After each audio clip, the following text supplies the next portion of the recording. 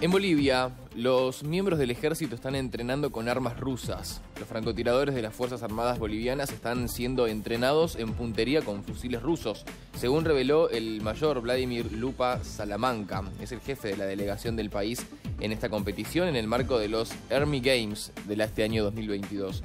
Tenemos este tipo de armas que están en servicio en el ejército boliviano. Se utiliza en una etapa de curso de formación de francotiradores, explicó el funcionario. En cuanto a la pistola, tampoco tuvimos problemas, ya que su calibre es versátil. Creo que todos los ejércitos del mundo utilizan el mismo calibre, agregó el militar, al dar información sobre estos operativos que ya se están llevando adelante en el país vecino.